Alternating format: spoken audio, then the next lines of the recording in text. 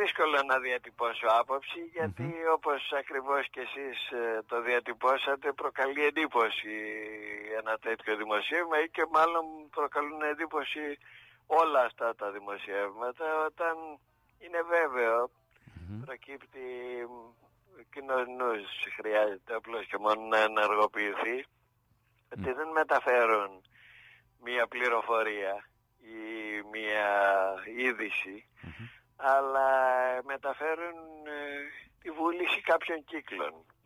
Ε, και αναρωτιέται κανείς ποιοι είναι αυτοί οι κύκλοι που επιχειρούν να διαμορφώσουν το κυβερνητικό σχήμα. Σε κάθε περίπτωση το κυβερνητικό σχήμα θα το διαμορφώσει ο Πρωθυπουργός, το διαμορφώνει πάντα και με τα κριτήρια που εκείνος θα αποφασίσει. Ως εκ τουτου τα δημοσιεύματα αυτά δεν μπορούν να έχουν βαρύτητα και σοβαρότητα. Θέλω να σας ρωτήσω, εσείς θα ε, επιθυμούσατε με βάση αυτό που έχετε και μπροστά, εσείς ξέρετε με βάση τον προγραμματισμό του Υπουργείου σας, θα επιθυμούσατε στον ε, ανασχηματισμό να φύγετε από το Υπουργείο αυτό και ενδεχομένως να πάτε κάπου αλλού ή κάπου, δεν ξέρω τώρα. Σε κάθε περίπτωση θέλετε να φύγετε από το Υπουργείο Εμπορικής Ναυτιλίας; Όποια απάντηση και να δώσω κύριε Γιακουμή σε αυτό το ερώτημα είναι βέβαια ότι θα παρεξηγηθεί και θα παρερμηνευτεί. Ε, δεν θα δώσω απάντηση γιατί δεν πρέπει να δώσω απάντηση. Ε, θα ήταν σαν να έκανα μια προσωπική παρέμβαση σε, στους ε, κυβερνητικούς σχεδιασμούς ε, με βάση προσωπικά κριτήρια. Είναι Δεν υπάρχει υπουργός που να μην ε, έχει ένα πλαίσιο πρωτοβουλειών ε, και που ανοιχτό και που εν πάση περιπτώσει ε, να προκύπτει ανάγκη ολοκλήρωσης του ειδικά σε αυτά που έχουν οριμάσει αλλά αυτά είναι κοινά για όλους και πάντα συμβαίνει αυτό με όλες τις κυβερνήσεις και όλους τους υπουργούς. Ε, δεν θα απαντήσω στο Εγώ σας ρωτάω περισσότερο, όχι ως πολι... δεν σας ρωτάω να μου πείτε ως πολιτικός, το ανθρώπινο, γιατί υπάρχει και το ανθρώπινο μέρος σε όλη αυτή την υπόθεση της πολιτικής και το ανθρώπινο ρωτάω περισσότερο. Έχω πει πάρα πολλές φορές, ε, δεν είμαστε υπουργοί για τις καρέκλες. Είμαστε στρατιώτες σε μια προσπάθεια κοινή ε, που ο καθένας από το ρόλο που αναλαμβάνει προσπαθεί να κάνει αυτή την υποχρέωση που ανέλαβε να την κάνει πιο δημιουργική και πιο αποτελεσματική. Σε αυτή τη σφαίρα κινούμαστε και επομένως ε, δεν ε, υπάρχει αυτή τη στιγμή το ανθρώπινο, υπάρχει το ζήτημα της πολιτικής ευθύνης και προς αυτή την κατεύθυνση κινούμαστε όλοι και προσπαθούμε να ανταποκριθούμε σε πολύ δύσκολες συνθήκες.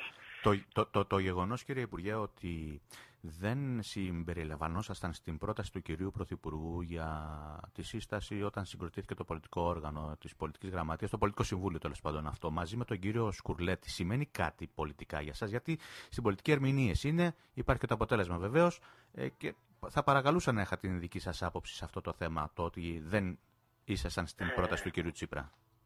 Καταρχήν δεν είχα καμία τέτοια προσωπική απέτηση. Κατά δεύτερον, ε, η προσπάθεια που έκανε ο Πρόεδρος ήταν να διαμορφωθεί ένα πλαίσιο συνενετικό και σε μεγάλο βαθμό αυτό ε, για την διαμόρφωση της τελέχωσης του νέου οργάνου που θα αναλάβει ένα πολύ μεγάλο πολιτικό βάρος. Ε, είναι πάρα πολύ σημαντική αυτή η απόφαση της Κεντρικής Επιτροπής γιατί δίνει μια πάρα πολύ καλή λύση ε, αναφορικά με την λειτουργία θεσμοθετημένων οργάνων και όχι άτυπων οργάνων στη λειτουργία του ΣΥΡΙΖΑ και της κυβέρνησης.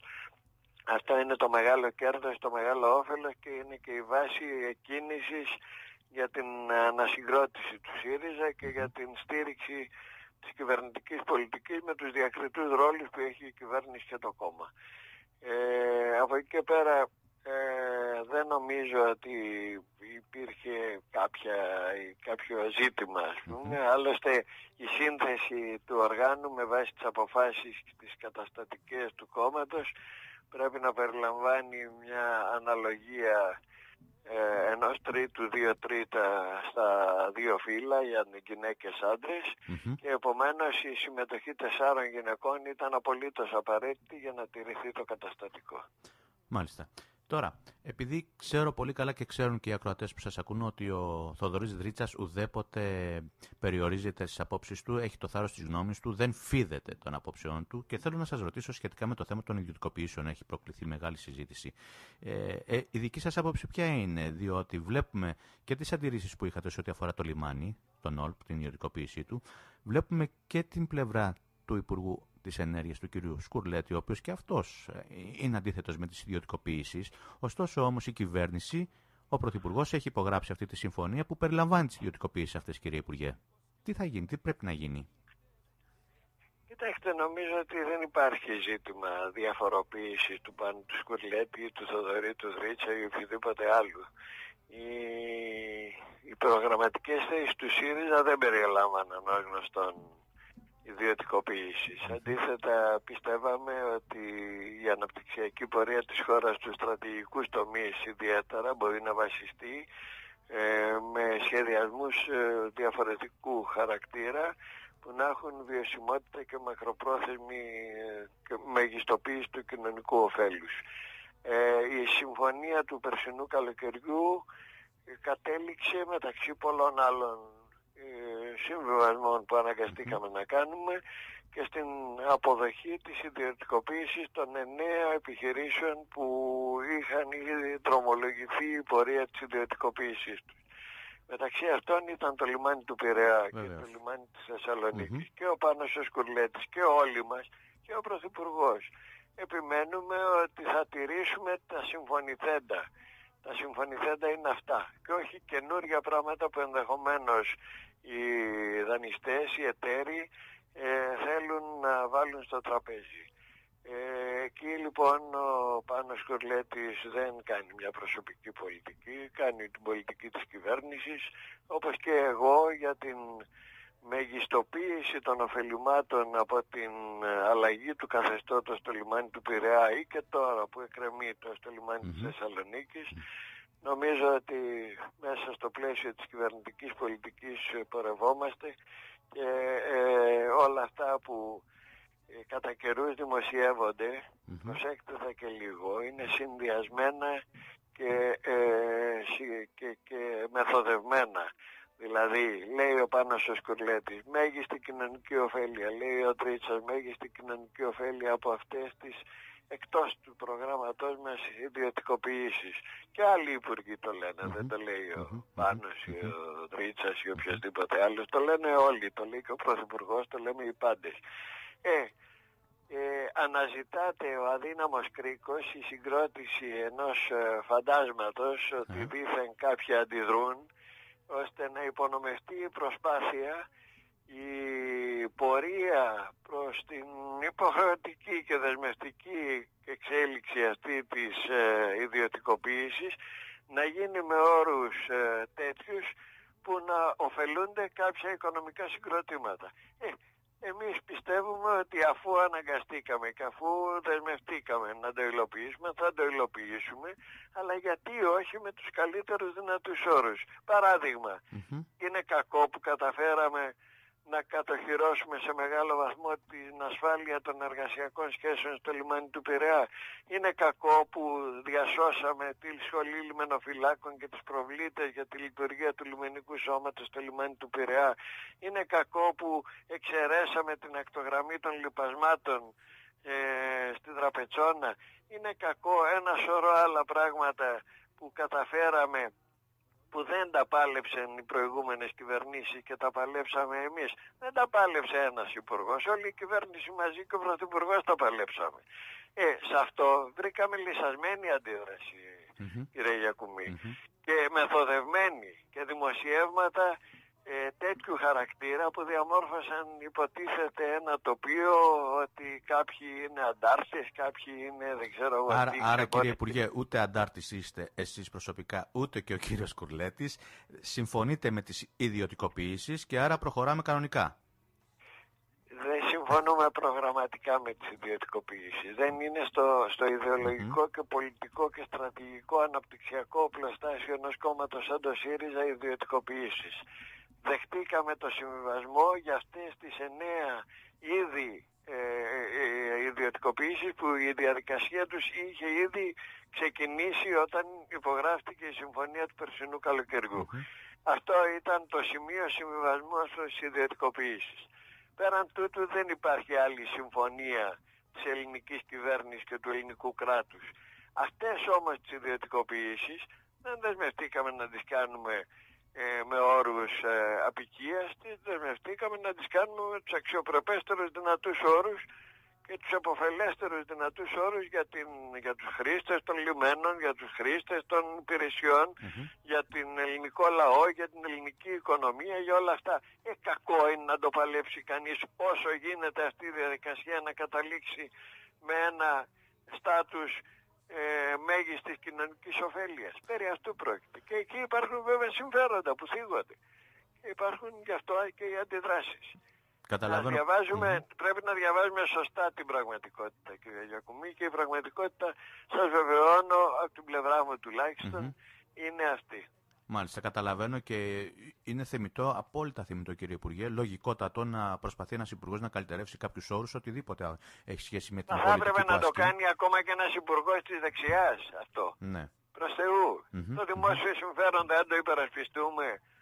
Τι θα μείνουμε μόνο στην αν είναι να μείνουμε μόνο στην αρχή της ιδιωτικοποίησης, εντάξει, η Νέα Δημοκρατία πιστεύει ότι όλα πρέπει να είναι ιδιωτικά. Ωραία. Ε, και αυτό είναι και το μήνυμα. Δηλαδή, αν κληθεί να εφαρμόσει, θα τα εφαρμόσει. Είναι, είναι συνηθισμένη. Πάρε Κύριε... ό,τι θέλεις παλιαζή. Ε, όχι, δεν, θα, δεν, δεν έχουμε εμείς την ίδια στάση. Κύριε Υπουργέ, αυτό είναι και το μήνυμα, αν θέλουμε, αν μπορούμε να το πούμε, και το μήνυμα του συνεδρίου. Αυτό ακριβώς που είπατε κι εσείς, που αποτυπώνεται από την απόφαση του συνεδρίου. Αυτό όμως, η απόφαση του συνεδρίου, το, το, το, το κορυφαίο όργανο σε, σε οποιοδήποτε κόμμα είναι το συνέδριο, δεν είναι λίγο σε αντιδιαστολή με την ασκούμενη πολιτική της ε, σημερινής κυβέρνησης, κύριε Υπουργέ. Γιατί ε, το συνέδριο πήρε μια απόφαση, πολιτική απόφαση, είναι ε, αριστερή απόφαση. Ωστόσο όμως δεν βλέπουμε αυτό να συνδυάζεται και να είναι στην απόλυτη πράξη ε, στην καθημερινή πολιτική επικαιρότητα. Εδώ κύριε Γιακουμή θα πρέπει η συζήτηση στην ε, χώρα μας να, να αναβαθμιστεί. Ζούμε σε μια περίοδο μεταβατική όχι μόνο στην Ελλάδα αλλά και στην Ευρώπη και θα έλεγα και στον πλανήτη.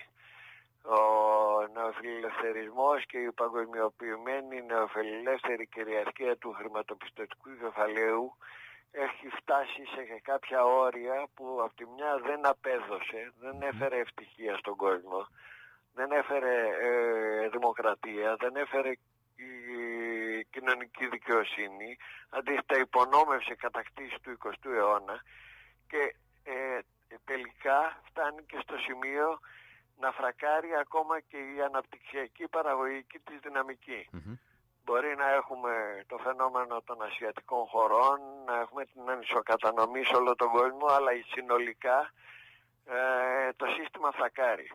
Ε, και, και φρακάρει έχοντας δημιουργήσει άνοδο της ακροδεξιας των εθνικών εγωισμών, των, της οξύτητας των ανταγωνισμών, όλα αυτά. Αυτό είναι μια πραγματικότητα σκληρή, οδυνηρή, σε χώρες που είτε έχουν είτε δεν έχουν μνημόνιο.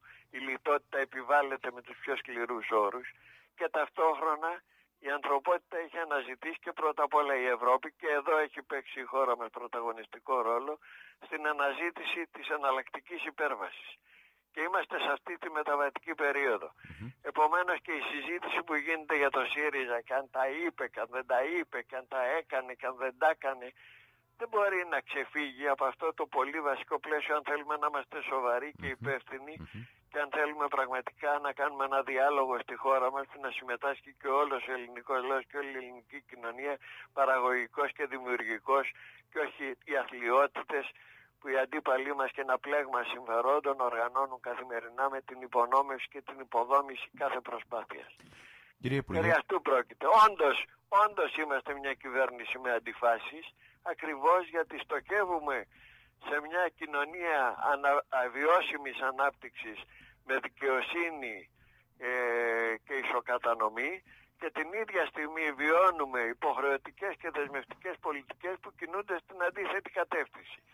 Αυτή η αντίφαση όμως δεν είναι μια αντίφαση του ΣΥΡΙΖΑ. Ο Το ΣΥΡΙΖΑ ακριβώς επειδή είναι ένα κόμμα που δεν είναι νεοφιλελεύθερο, που δεν είναι διαπλεκόμενο, που δεν είναι υποταγμένο, μπορεί σε αυτή την αντίφαση να λειτουργήσει δημιουργικότερα και παραγωγικότερα από, κάποιον, από κάθε άλλη πολιτική παράταξη που είναι απολογητής όλων αυτών των αθλειοτήτων του νεοφιλελευθερισμού.